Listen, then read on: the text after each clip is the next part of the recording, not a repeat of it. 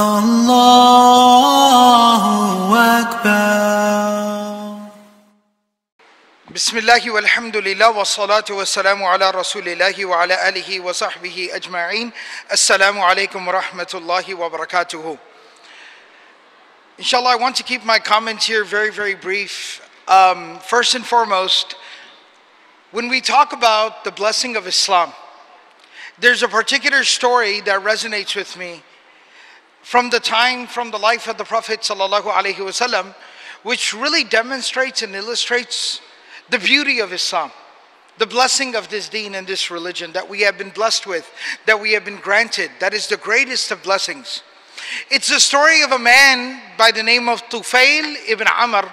He belonged to a tribe called Ad-Daws.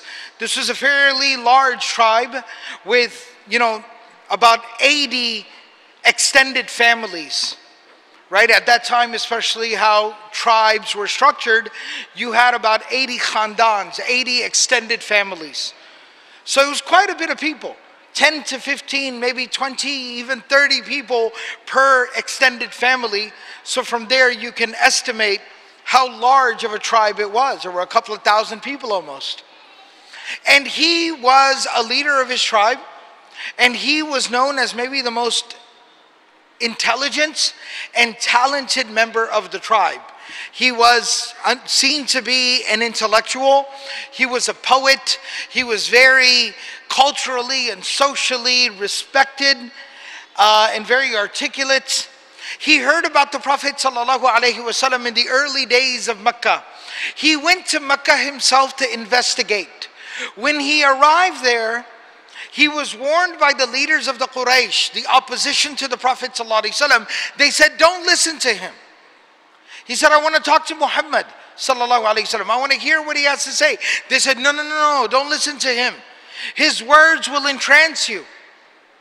He practices sorcery, magic. He's a poet. He's crazy. He's possessed. Well. They said all these terrible things about the Prophet and they said, don't listen to him. Because if his words fall into your ears, eh, he will put you under his spell. And he said, I don't know why, but I became so intimidated by what they were saying. And this sounds very familiar to us today. We're constantly being told that no, no, no, no. Be careful. Don't say this. Don't do that. Right? And it's given all types of labels to be called extreme or conservative or fundamentalist, to be too hardcore, to be too strict, to be too harsh. And all these people will criticize you and all these bad things will happen to you. But no. Allah and His Messenger are telling you something else. So same way Tufail says, I got intimidated by them. Just like a lot of us get intimidated today. That I'm not going to practice a part of my deen or religion. I'm not going to confess what I believe in. Because of the intimidation. So he says, I stuffed my ears with cotton. I stuffed my ears with cotton. So I wouldn't come across him. And then he says, one day when I was at the Haram, at the Kaaba, and I saw the Prophet ﷺ there and I looked at him and I recognized from his face, this is the face of an intelligent, honorable, trustworthy person. This is not the face of a liar. This is not the face of a charlatan. This is not the face of somebody who is making trouble. He doesn't look troublesome. He looks peaceful. So he says that I took the cotton out of my ears and I followed him to his home. And I asked him, please share your message with me. And he recited the Quran to me. And in that moment, I knew that I was interacting with the truth. So I became Muslim. And I spent some time with the Prophet. ﷺ. And then he told me, Go back to your home, go back to your town, go back to your village, and share this message with your people. He said, But I see, there's a, there's a point that I'd like to make before I continue the story. In terms of accommodating people, in terms of being more approachable, being more accommodating, being more friendly, There are people that will tell us that our deen or our religion or our message or what we believe in needs to change. And we will completely and totally reject that. What Allah subhanahu wa ta'ala said in the Quran is 100% perfect. It is the truth. It is the haqq. What there is no guidance better than the guidance of the Quran. There is no example better than the example of the Prophet ﷺ. Never compromise your faith. Never compromise on what you believe. But what can we change? We can change how we talk to people.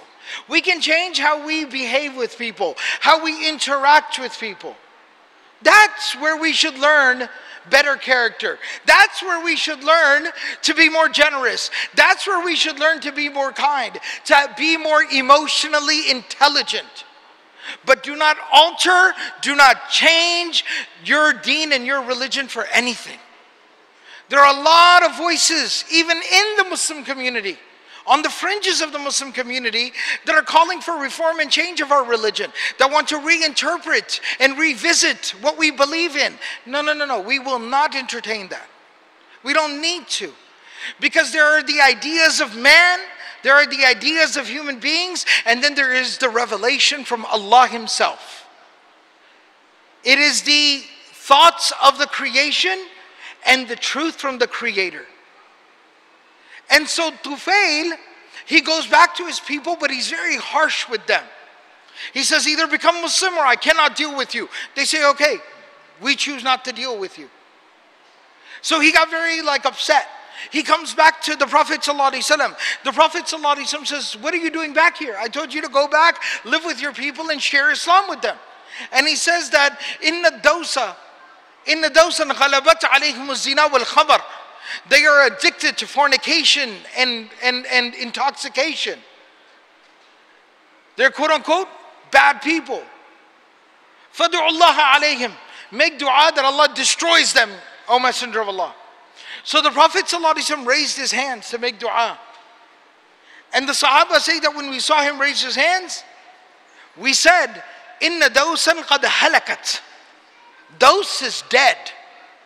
Because the Prophet is going to pray against them.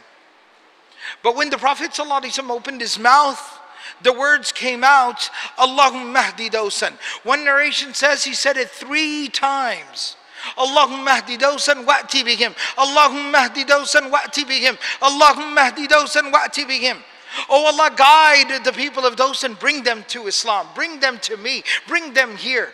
Oh Allah, guide the people of Daws and bring them here. Oh Allah, guide the people of Daws and bring them here. And Tufail, he then told ila qawmik. Now go back to your people. Fad'uhum ila islam Call them to Islam. Warfuq bihim. And be kind and gentle with them. Be kind and gentle with them. That is the blessing of Islam. And what happened? Ten years later, the Sahaba say Tufail returned. But this time he came to Medina and actually had to come to Khaybar because the Prophet was at Khaybar. But Tufail returned a decade later. But when he came, he had over a thousand people with him. The horizon became covered. They came over the hill and it became completely covered with people. He came with over a thousand people and he said they are all here to become Muslim. And one of those people that came that day to become Muslim was none other than Abu Huraira radiallahu anhu. That is the blessing of Islam. That is the blessing of our deen and our religion. So I wanted to conclude here by sharing some of the fruits of our deen and our religion. Allah subhanahu wa ta'ala tells us in the Quran, Inna dina indallahi al-Islam. That this way of life, Islam, this is the chosen religion by Allah. This is what Allah subhanahu wa ta'ala wants for you. That the Prophet uh, Allah subhanahu wa ta'ala tells us, فَأَقِمْ وَجْهَكَ لِلدِّينِ حَنِيفًا فِطْرَةَ اللَّهِ الَّتِي فَطَرَ النَّاسَ عَلَيْهَا This is in tune with our inherent nature. This is the uh, uh, natural inclination that Allah has built us with, that Allah has created us with, that we turn towards the worship of Allah subhanahu wa ta'ala. That the religion of Islam is centered and focused around devotion to Allah the oneness and the devotion to Allah. قل هو الله أحد الله الصمد لم يلد ولم يولد ولم يكن له كفوا أحد that Allah is only one and only upon him do we rely this religion is a religion that emphasizes knowledge and intelligence اقرأ باسم ربك الذي خلق read in the name of your Lord the one that created it is a religion of honesty integrity and justice and fairness. Inna Allah ya'muru bil adli wal ihsani wa ita idil qurba. Allah commands you towards justice, fairness, excellence, and to respecting your relationships, taking care of the people that are given to you. This is a religion that does not involve compulsion. We do not compel, we do not force our will upon to others. La ikraha fid din. This is a religion in which Allah has removed hardship. وَمَا جَعَلَ عَلَيْكُمْ فِي الدِّينِ مِنْ حَرَجٍ Allah has removed hardship from you in this religion.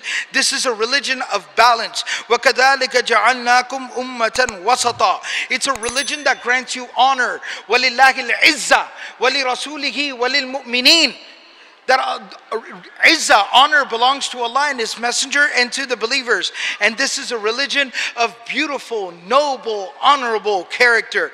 Where the Prophet ﷺ says, إِنَّمَا بُعِثْتُ لِأُتَمِّمَ مَكَارِمَ الْأَخْلَاقِ I was sent to perfect and to complete noble character, good character, honorable behavior. May Allah subhanahu wa ta'ala grant us the ability to practice Islam properly. May Allah subhanahu wa ta'ala grant us consistency upon our faith, consistency upon our religion. And may Allah protect us from the corruption that is being introduced upon this community. May Allah protect it from that corruption. Ameen ya Rabbil Alameen. Jazakumullahu khairan. Wassalamu alaikum wa rahmatullahi wa barakatuh.